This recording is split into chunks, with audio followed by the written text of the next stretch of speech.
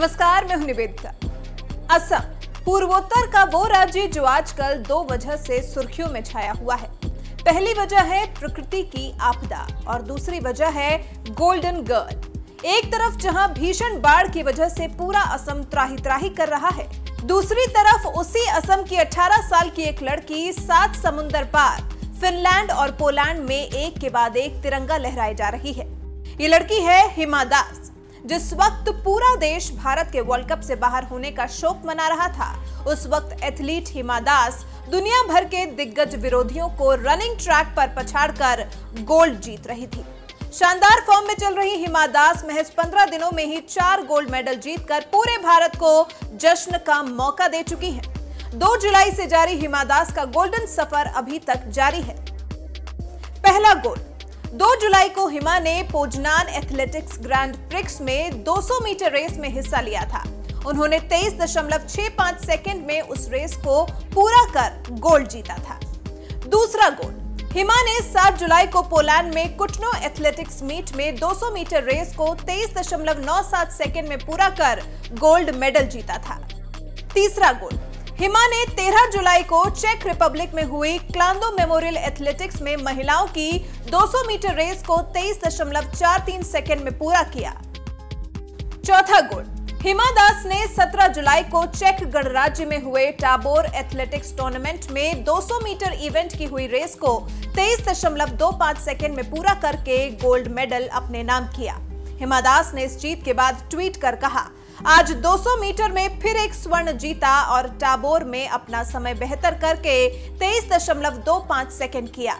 हिमा की इस ऐतिहासिक उपलब्धि पर खेल मंत्री किरण रिजिजू ने बधाई देते हुए कहा, हमारी गोल्डन गर्ल ने फिर कर दिखाया। हिमा दास ने 200 मीटर रेस में एक और गोल्ड जीता और 23.25 सेकंड के साथ अपने समय में भी सुधार किया। कौन है हिमा दास? हिमा दास असम के नगांव ज़िले के धिंग गाँव की रहने वाली हैं। साधारण किसान परिवार में जन्मी हिमा दास के पिता चावल की खेती करते हैं वो अपने परिवार के छह बच्चों में सबसे छोटी हैं। हिमा पहले लड़कों के साथ फुटबॉल खेलती थी और एक स्ट्राइकर के तौर पर अपनी पहचान बनाना चाहती थी उन्होंने दो साल पहले ही रेसिंग ट्रैक पर कदम रखा था और आज हिमा दास विश्व स्तर पर ट्रैक स्पर्धा में गोल्ड मेडल जीतने वाली पहली भारतीय खिलाड़ी हैं। साल 2018 में हिमा दास ने इतिहास रचते हुए IAAF world under 20 athletics championship के 400 मीटर फाइनल में ये गोल्ड मेडल अपने नाम किया था।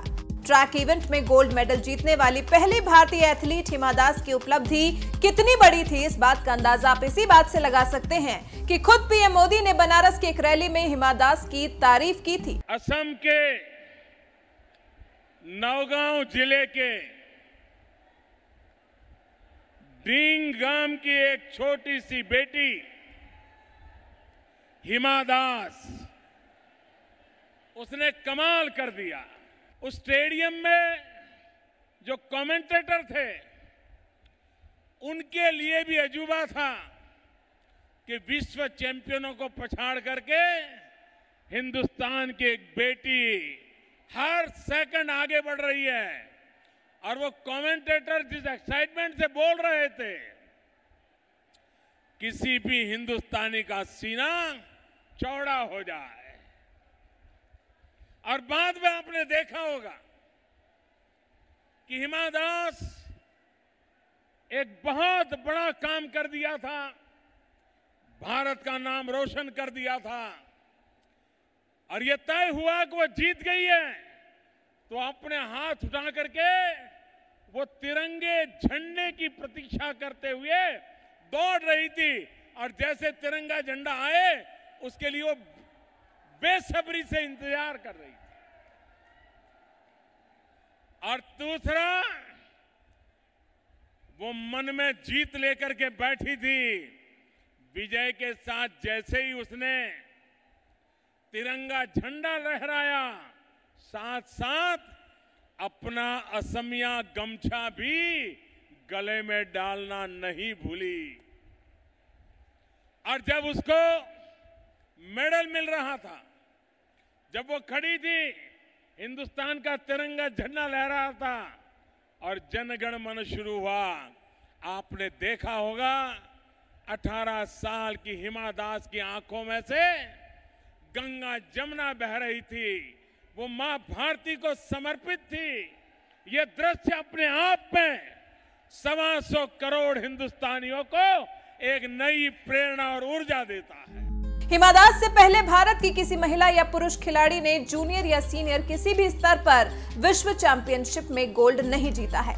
फ्लाइंग सिख के नाम से मशहूर वेटरन एथलीट मिल्खा सिंह और पीटी उषा भी ये कमाल नहीं कर पाए थे। इस उपलब्धि के करीब एक साल बाद हिमा दास ने 2 जुलाई से 17 जुलाई के बीच चार गोल्ड मेडल जीतकर पूरी दुनिया को भारत की ताकत का एहसास करा दिया।